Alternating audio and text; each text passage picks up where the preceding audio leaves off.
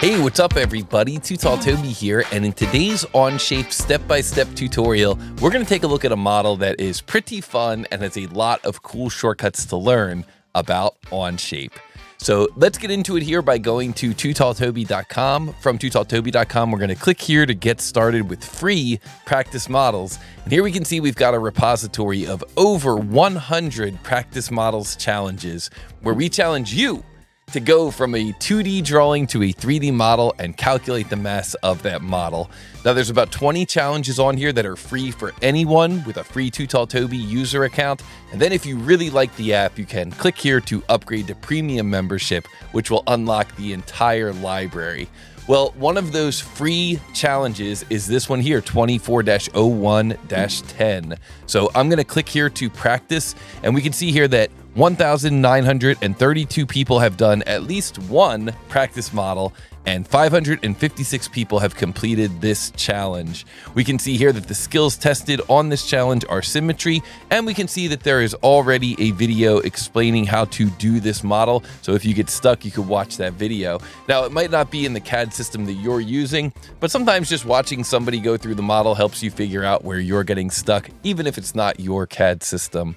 So now I am ready to go. I'm ready to do this challenge. So I'm going to come down to the bottom here. I'm going to click here to begin. And once I click here to begin, I'm going to say reveal drawing and go. We are in this challenge and we can see here that we are being asked what is the mass of this model in XXX grams. And once we calculate that mass, we're going to enter it here into this field and hopefully we will get it correct. So what I'm going to do now is I'm just going to kind of come up with a game plan real quick before we get started. I think it's always good when you go from a 2D drawing to a 3D model to start out with a game plan.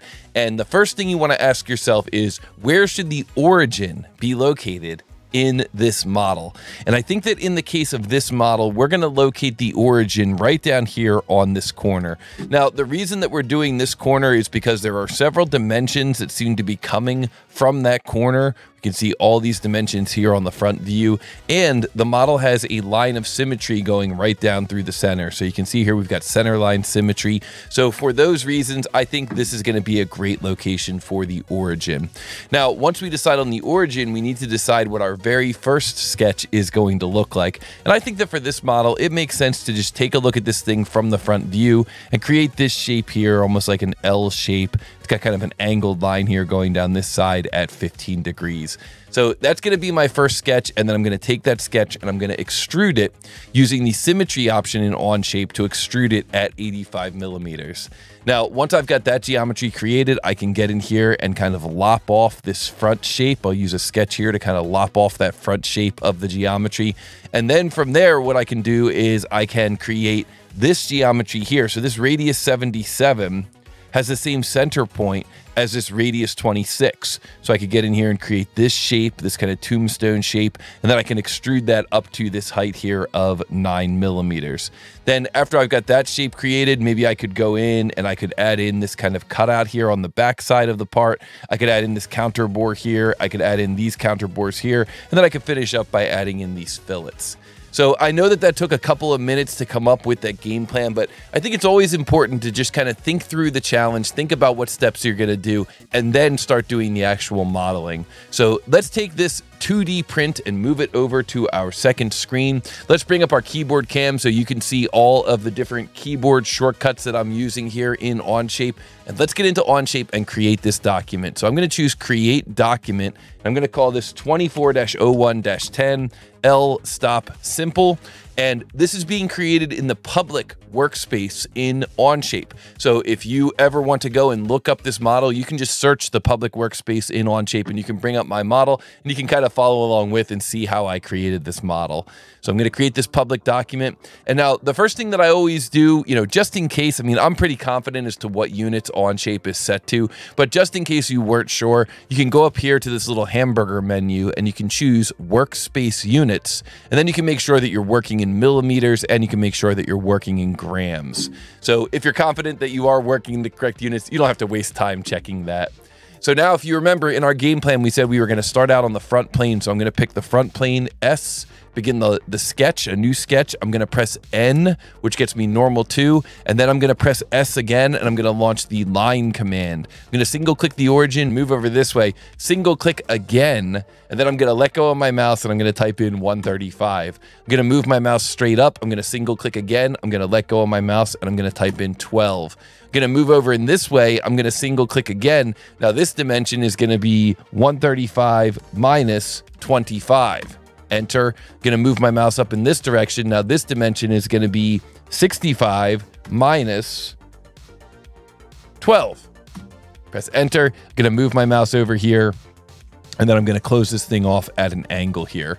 Now, one thing you want to remember is that when it comes to creating angle dimensions, you could create an angle dimension to a plane. So you don't have to get in here and create a little uh, uh, sketched center line to create that angle dimension. You could just press the S key, jump into your dimension command, and then create a dimension here from this line to this plane.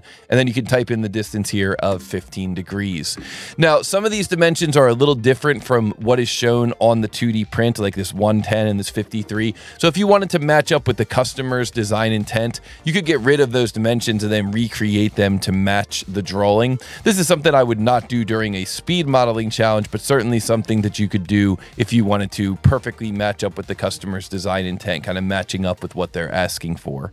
So if you're following along as a tutorial, this is what your first sketch should look like, and that should all be sketched on the front plane. And then from there, you can press the S key. You can right mouse button on the S key menu and choose customize and then you can add the extrude command to your S key menu. This is a great way to save time in Onshape. So when you're in sketch mode, you can just press the S key and right away jump into the extrude command. And here we can see we're extruding this thing. I'm going to use the tab key on my keyboard to advance through this box. So I'm going to tab down to where it says depth. I'm going to type in 85 tab, tab, tab down to where it says symmetric. I'm going to press the space bar, and there you see that that creates that extrusion as a mid-plane or a symmetric extrusion out to a total depth of 85 millimeters. So if you like that shortcut, if you like using the tab key to tab through there and you like using the space bar to hit that check mark, hit the like button on this video. I'm going to hit enter to finish this command. And there we go. There is our first extrusion. So now I'm going to create my second extrusion. This time it'll be a remove. So I'm going to pick this face here. I'm going to press the S key, begin a sketch. I'm going to press the N key to get normal too. And I'm going to pick this edge, this edge, and this edge. And I'm going to choose this option here for use or convert, use, project, convert, this little cube up here up at the top.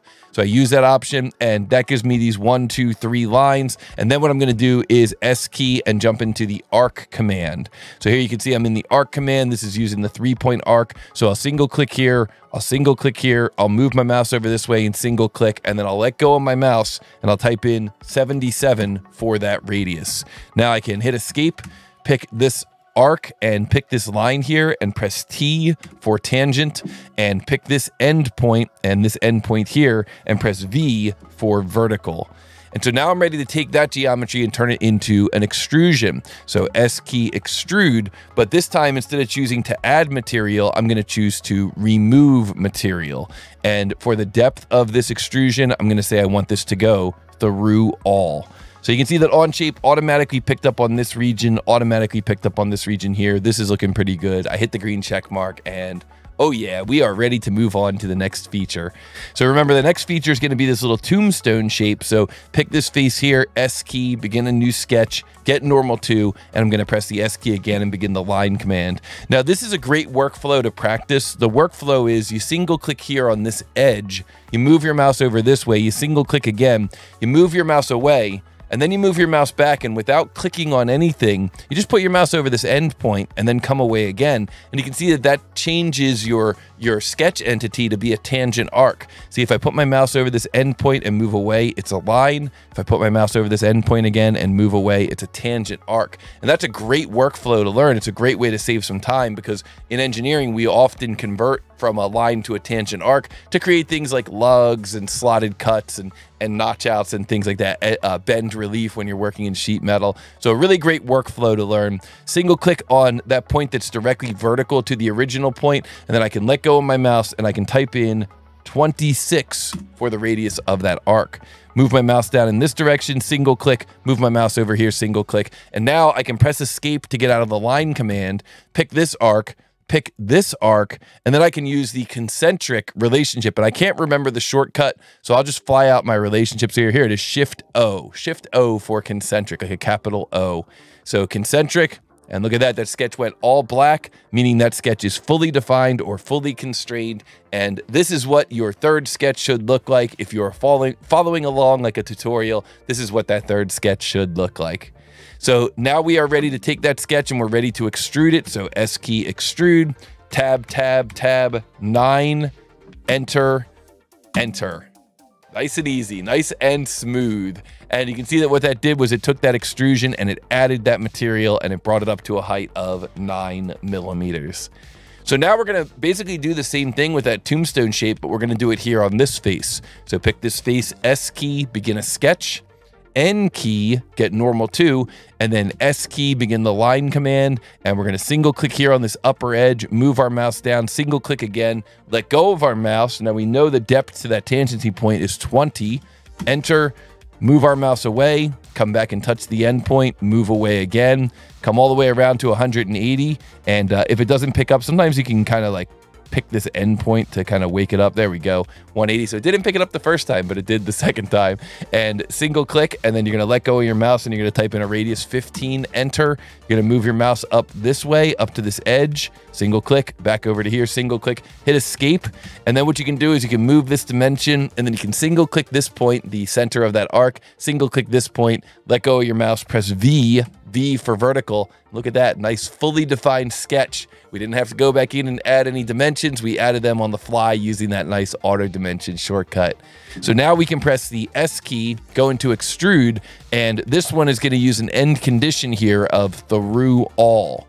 So through all, and it's not, we're not adding material. Here you see what we've got as this option here for add. We are removing material. So we choose remove again, just like we did up here on the front of the part, remove, and we hit the green check mark, and look at that, that is looking good. So now we need to add the locations for our um, hole wizard holes or our hole hole tool. You got the hole tool here in Onshape. So we're gonna add these holes. We're gonna add some counter bore holes, but let's add in some sketch points here before we get started. And uh, we can do this using a rectangle. This is a nice little shortcut you can do in Onshape. So pick this face, S key, begin a sketch, N key, get normal to, S key. I'm going to do a center point rectangle here, center point rectangle. I'm going to single click here directly above the origin, move my mouse out this way, single click again, and then I'm going to let go of my mouse and I'm going to type in 55 for the width, and I'm going to type in 10 for the depth of that rectangle, and then I'm going to hit escape and pick this upper edge of the part and this line of the rectangle and press I for coincident. Now what I've done is I've set myself up perfectly to locate those holes. So now I can exit this sketch. I can hit the green check mark here to exit that sketch. And then I can launch the hole command. So here is the hole command in Onshape. And the hole type is going to be counterbore. The unit system here is going to be metric. So metric, counterbore. And then the through hole size is going to be 5, tab, tab, tab, tab, 10, tab, 5 for the depth of that counterbore. And then what we can do is we can come out here on the screen and we can just pick these sketch points. So this point here, this point here, and look at that. We have perfectly located those counter bores. So I can hit the check mark there. I could hide that sketch that we used for the rectangle. Looks like it actually got hidden automatically. That's nice. Onshape, just coming through and automatically hiding that sketch. I like that. And so now all we need to do is add that other larger counter bore and then add those fillets on the front of the part. So for that larger counter bore, we'll go into the hole command again, tab, tab, tab, tab, tab. This is going to be uh, a diameter here for the through hole of 15. Tab, tab, tab. The uh, counter bore is going to have a diameter of 30. Tab, the depth is going to be 12. And then here, instead of choosing sketch points, we're going to choose this button here, mate connectors. So we're going to choose a mate connector and the mate connector is going to be right at the center of this edge. So you can put your mouse over this edge. You could probably move it kind of to the center also. I usually do this by picking the, the circular edge to get the mate connector in the center. So single click there and look at that preview, letting us know that that counter bore is being added there. That looks great. Hit the green check mark and there we go. We are done with that counter bore as well. And so now we can get into our fillet command. So fillet S key fillet, get into our fillet command here.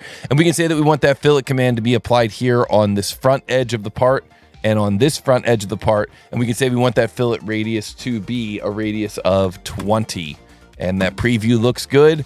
And now at this point, what we could do is we can press P to hide our planes. We can press Shift P if we want to hide all of our reference geometry, like the origin. We can come down here to the name of the part, and we can right mouse button and say Edit Appearance, and we can make this appearance kind of match up or get close to what the customer gave us. Kind of like a deeper orange there. Yeah, that looks pretty good. Customers always like it when you match up with their actual part colors. And uh, then what we can do is we can right mouse button again on that part one and we can choose assign material. And here we're going to go into the custom library of Too Tall Toby custom materials. And once we get in here, we're going to say that we want to assign the custom material of ABS coming from the Too Tall Toby library, so it matches up with the material density on the title block. And then down here, kind of behind where the clock is, you've got this icon here. This is your mass properties icon. So I'm going to click that icon. I'm going to choose this body of this part, and it looks like it's coming up with a mass of 204 grams. So I'm going to come down here into this uh, entry box for mass 204, enter. And oh yeah, whenever you see that little purple, actually, let me move this onto the main screen. Here we go. Whenever you see that purple box, that means that you got it correct. So congratulations, this answer is correct. 204 grams is correct. The total time was 14 minutes and 23 seconds. And if we hit submit, we will get one point on the community scoreboard. So submit. And here we go. We did it. We got it correct. And if we scroll down here, we can see that our time was 14 minutes and 23 seconds. 14 minutes and 23 seconds, so kind of up here. And we can see that the average time is 11 minutes and 47 seconds. Wow, that is pretty darn fast. And then the current fastest time, Rambros, wow, the world champion of 3D CAD speed modeling has the fastest time on this particular challenge. So maybe what I could do is I could hit the try again button and I could try this thing again and see if maybe I could get a faster time. Maybe if I try again, I could get my time down under the average time here. But for now, I'm happy with this. I'm just happy that I was able to get through and complete it. And if you enjoyed this tutorial, be sure to like this video. Be sure to let me know down in the comments if you learned anything from this video. And of course, be sure to check out tootalltoby.com slash practice where you can try this challenge and you can try 19 other challenges for free. And then if you really enjoy the app, you can sign up for the premium membership and access the entire library. So I will look forward to seeing all of you on the completionist scoreboard. And of course, I'll look forward to seeing everybody in the next tutorial.